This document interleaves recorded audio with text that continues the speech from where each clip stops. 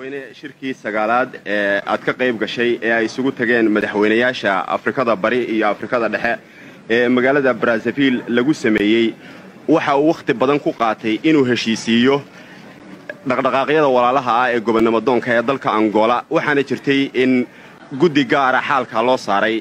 Jaalle madaxweyne arrinkaa nooga warran marka ugu horraysa waxaan salaan kaliya laaba u jeedinayaa dadka soomaaliyeed guud ahaantiisa anoo aaminsan inay iyagu hadal kastaba hadalka ugu horreeya xaq u leeyihiin inaan idhaahdo marlabaadkana waxaan u jeedinayaa mid salaan kaliya laab ah oo aad iyo aad iigu sii qaayo weyn.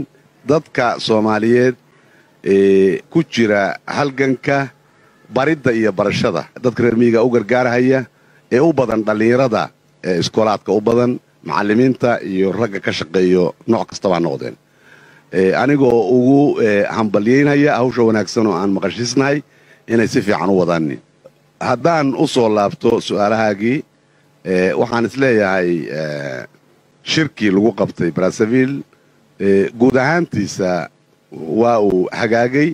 Maxaa waay marka ugu horraysa koob iyo toban madaxweyneha isugu timid iyo mid walba cadad wasiirre ah oo la jireen. Waana aad garan karaysaa in amuuro badan oo dusha ku laalaa lagu dhammaystiri karo meelahaas markii la yimaado. Marka xigana waxyaalihii la iskugu yimid oo danaha afrikada bari iyo tandhexa ahayd wax badan baa ka qabsamay haddii hoos loo eego gaar ahaan wixii khuseeyey dadka uu burtugeysku weli gumaysanhayo oo dalkaas jaarka la'ah iyada oo arrimo badan oo sidii iyaga wax loogu tari lahaa ama loo gargaari lahaana laga tashaday iyagana waxyaala ku dhex jiray badidoodu meel fiican laga gaaray.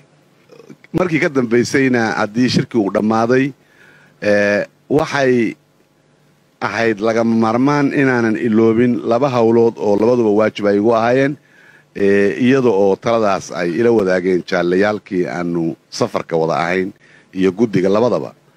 In aanu waddamadaas kaa aan joognay iyo kuwii kaleba aanu wixii aan isleenahay danbay ummadda soomaaliyed u yihiinna aanu isku taxalluujinno bal inaan wixii ka qabsami kara ama wada qabsami kara aan ka qabanno. Afrikada danteeda caamka ahna oo maanta aan xilkeedii ina saaran yahay inaan hogaaminana in iyadana wixii ka qabsami kara oo dan u noqon kara inaanu ka qabanno.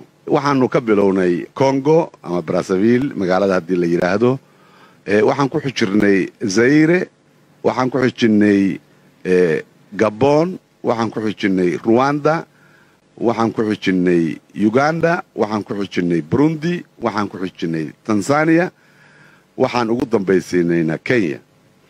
Intaa madaxweyneyaaloo amaan la kulmaynay ama dad ah ama mas'uuliinah wixii aan u bandhigaynay waxay ahaayeen wixii labadanada waddan kii kastaba ka hagaagi kara ama xidhiirkooda wanaajin kara ama isgarabsiga maanta lagama maarmaanka adduunka heerka la marahayo u ah ee ka qabsami kara ama aanu uga warrami karno oo ummadda soomaaliyeed halganka ku jirto iyo meesha ay marayso intaanu ka ogeysiin karno aanu ka fidin karno iyo wixii labadaa dal ay wada qabsan karayaan iyo wixii afrika danaheeda ah in la isweydaarsado araa madaxweyneyaalkaas iyo muxuuaha wasiiradooda ama dowladdooda iyo guddiganagii raggii ka mid ahaa.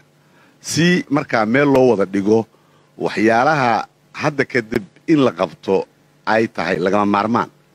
Ama muxuu ahaa horay go'aan madaxweyneyaalku shirarkoodii ha ku gaaraano ama ha ahaadeen ra'yiyaal cusub oo annaguba aan wadanay ama nalagu beeriye haddii aan xaqiiqa ahaan dib ugu noqdo markii hawshaasu siddeedda beled ahaa soo duubantay waxaan is leeyahay safarkan wuxuu ahaa mid guul badan ku reeriyeysan buu amaan odhan karaya. Meel walboo aannu tagnay waxay nalagu soo dhoweeyey si xiise gaara leh. Aan filayo inaad adinka naftiinnu idaacooyinka adduunkana kala socoteen. Haatanna wixii faahfaahina qoladii jaraa'idkuna la socotay ay iyagu ka warrami doonaaneen jaalle madaxweyne waxaa jira shirkan madaxda afrikada bari iyo afrikada dhexe aad ka qayb gashay inuu ahaa kii sagaalaad ee madaxdaasu ay isugu tagaan. Haddaba shirkani waxa uu ahamiyad gaara saaray aadna loo jeexjeexay waddamadaasi afrika in ay si weyn isaga kaashadaan oo ay xoojiyaan wax wadaqabsiga ka dhexeeya xagga dhaqaalaha ganacsiga iyo xagga gaadiidka. Haddaba shirarkii hore oo amuuraha lagu soo qaaday adigoo ah guddoomiyihii ururka midowda afrika maxay kula tahay inay yihiin arrimaha ugu waaweyn ee hortaagan sidii loo hirgelin lahaa ee ay u dhaqangeli lahaayeen?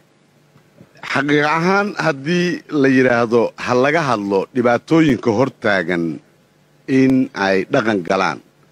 Wax wadaqabsiga dadka afrika way badan yihiin meelo badan lugaha way la gelayaan laakiin haddaan kuwa ugu waaweyn aan isleeya ugu waaweyn haddaan taabto waxaan odhan karahayaa marka u horraysa kulan siyaasiya ama madaxeed afrika waa ka dhexdhacay toban sannadoodna waa socday.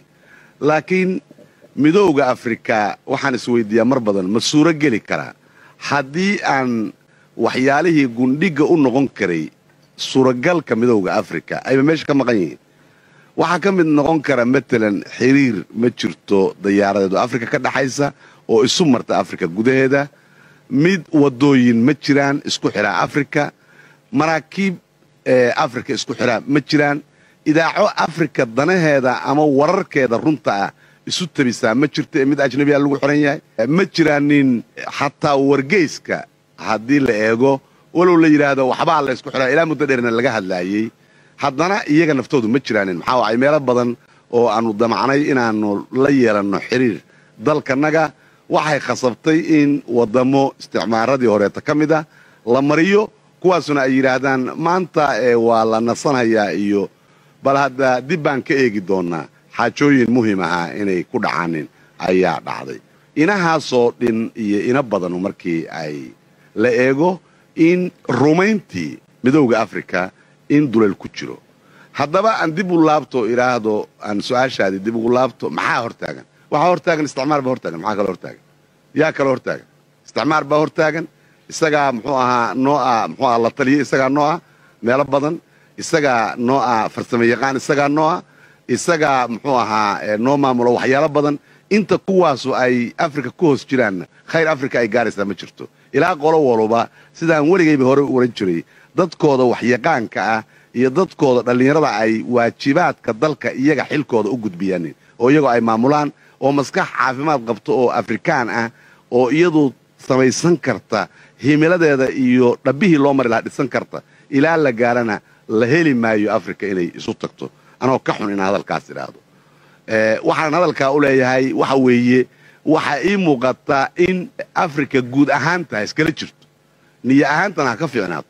Laakiin haddii luguhu ay maqan yihiin qofku ma socon karo lugihii isku xidhi lahaa afrika oo run ahaan isugu xidhi lahaa oo dhaqaal ahaan isugu xidhi lahaa oo siyaas ahaan isugu xidhi lahaa oo tacaliin hidiya dhaqan isugu xidhi lahaa oo qiimo ahaantooda ummad ahaan afrikaan ahaan soo saari lahaa way maqan yihiin. Waana saan u sheegay isticmaarkii cusba ayaa saa lugta ugu rafaayay jaalle madaxweyne waxaa ka mid ahaa waddamadii aad soo martay dalka kenya. Waxaanaannu ka war haynaa in aad halkaa isku aragteen oo aa ku wada hadasheen madaxweynihii dalka kenya jomo kenyatta. Ma noo sheegi kartaa arrimihii aad isla soo qaadeen? Dalka kenya wuxuu ka mid ahaa dalalkii aan u warramaynay sidai annaga noogu muuqato. Danaha afrika uga warramaynay waraysanaynana wixii ra'yigooda uu ahaa. Run ahaan haddaan xoogaa sii leexdo waxaan odhan karayaa in awalan si fiican naloo soo dhoweeyey oo isla markiina laba goor ayaan la kulmay madaxweynaha kenya labadii goorna waxaanu ka hadalnay arrimo badan oo ama labadeenna dal khuseeya ama afrika guud ahaanteeda khuseeya. Hadalladii aanu ka hadalnayna dhammaantood waxay ahaayeen kuwo wax ku ool ah waxaanu ka gaarnay. Su'aashayda ugu dambaysa jaalle madaxweyne waxa ay tahay ma nooga warrami kartaa ama wax ma ka odhan kartaa isbeddelka xagga maamulka ee ka dhacay dalka etoobiya iyo arrimaha ka soconaya wixii ay nala tahay horay baanu uga niri annagu dalka etoobiya waxaa ka socda wuxuuna ahaa mabda' ahaan waxaan aaminsannahay. Ummad waluba dalkeeda inay iyadu maamusho. Taladeedana iyadu inay leedahay. Faragelin bannaankuuna qaldaan inay tahay baanu moodaynaa. Markaas markii khalaanqalku usbilowday ayaannu hore u sheegnay oonu nidhi danaha dadka etoobiya iyagu ha maamusheen annagu ma aaminsanin in la farageliyo. Haatanna waxaan filayaa inay iyagu ku filan yihiin sidii si ugu habboon inay dalkooda iyo dantoodaba u maamulaanin. Madaxweynaha golaha sare ee kacaanku markii uu dhammeeyey su'aalaadkii aanu ku warsannay dhabaha dawladaha ee magaalada muqdisho waxa uu dabeedna salaan iyo hambalyo ballaadhan u jeediyey ummadda soomaaliyeed meel kasta ha joogta ee gaar ahaan ardada iyo barayaasha ololaha horumarinta reermiyiga ka wada dalka jamhuuriyadda dimuqraadiga ee soomaaliya. Dhammaantiiba waxaan is leenahay walow muddo aan waddan ka maqnayn hawsha waddanka qaybtii aan ka qaadan jirnay ee aan kala maqnayn waxaannu is leenahay cidlo kuma dhicin baannu is leenahay.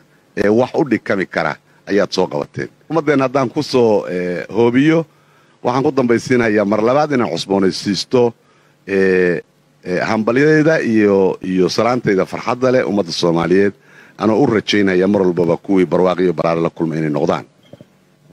Mahadsanid waxaannu kugu hambalyaynaynaa soo noqosho wanaagsan adiga iyo wafdigaagaba aad ku soo nabad noqotay dalkaagii. Waa mahadsantii